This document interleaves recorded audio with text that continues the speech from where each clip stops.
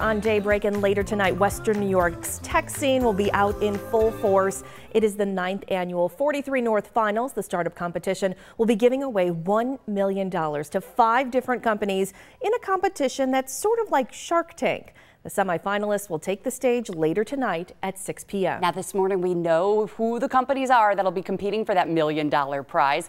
Here's a look at the eight companies and their founders who will be giving the most important pitch of their lives. They are Stepwise, Cav, Credit Academy, Afterlife, Guidesly, Reese, StoreCash, and 42 Sensors.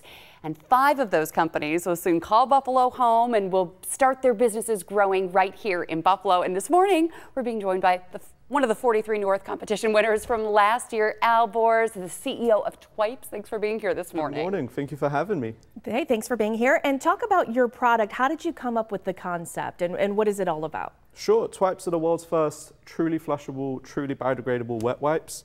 We're wet wipes that break down in water in just three hours and biodegrade in landfill in just seven days. So it's a truly eco-friendly product. And so many people use them. We actually had a, an issue here in Western New York a few years ago where it was clogging up the system. So this is a smart idea. It certainly is. So how did you learn about 43 North and what was it like for you to become part of that competition? What led you there? It's, it's been a wild journey. We actually applied to 43 North several years in a row, and that's the great part of it is um, even if you don't make it through to being a winner, they help support the semi-finalists, they help support the finalists, and they kind of support us, guide us through the journey until we got to a stage when we were ready for the competition. And what was that competition like for you? How nervous were you on that stage presenting your company and trying to win that million dollar I'll prize? put it this way, I'm excited that I don't have to present this year. and as you, you won the million dollars, you committed to Buffalo for a year.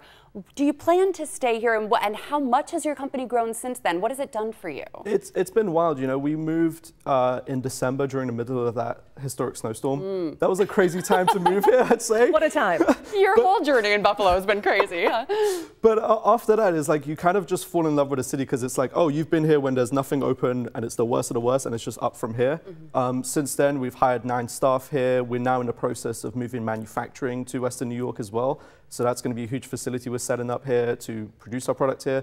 The next steps for us is producing flushable feminine hygiene products, mm. which is going to be huge for us. That's within the next two years. So it's the growth journey has been insane, and we're very, very thankful for the support of Western New York as a whole and for everyone here just kind of believing in us. Quite a success story. I've got goosebumps right now of such a success story for your business, but also for Western New York yeah. to be able to you know, be this incubator for you? It's it's incredible to see. You know, uh, outside of uh, Western New York, you know, I'm from London, England, and over there, when people say Buffalo, all we think of is the Buffalo Wings and the NFL. Mm-hmm. so it's great now that we're, you know, one of the other competition finalists this year, we're the ones who told them, hey, you guys should look into this and apply, and they're like, oh wow, I hadn't heard of this. So it's it's great to see it now putting you know Buffalo on the map. Fantastic. Awesome. And really quickly before we go, any last minute advice for those who will be competing tonight? I don't want to put any pressure on those competing tonight, just tell them to enjoy it. But I will say to the viewers at home, if you haven't got your tickets yet, and if you happen to not be watching the Sabres home opener tonight, go to 43north.org and you can get tickets for tonight's event. All right. Some great advice there for us. All right. Thanks so much for being with us this Thank morning and congratulations to you and much success in your future. Thank you so much for having me. Thank you. And again, that 43 North competition is tonight and tickets are still available and they're free too. So you got to catch it. And if you're not going, then you can also watch it on the live stream. Yes, there is much more daybreak still to come here this morning.